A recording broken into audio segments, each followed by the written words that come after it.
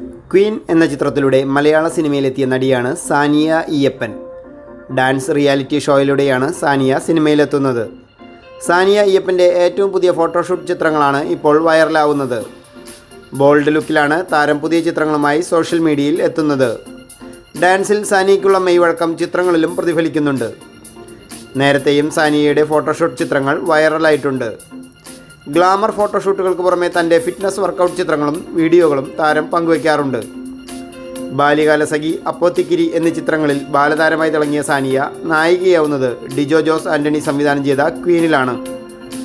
രഞ്ജിത് ശങ്കർ സംവിധാനം ചെയ്ത പ്രേതം ടൂവിലും ശ്രദ്ധേയമായ വേഷം ചെയ്ത സാനിയ ലൂസിഫറിൽ മഞ്ജു വാര്യരുടെ മകളായെത്തിയും കയ്യടി നേടിയിരുന്നു.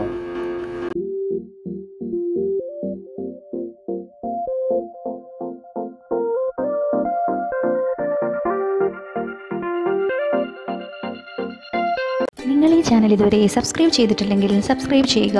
ബെൽ ബട്ടൺ ക്ലിക്ക് ചെയ്യുകയാണെങ്കിൽ പുതിയ പുതിയ അറിവുകൾ ആദ്യമേ ലഭിക്കുവാൻ സാധിക്കും.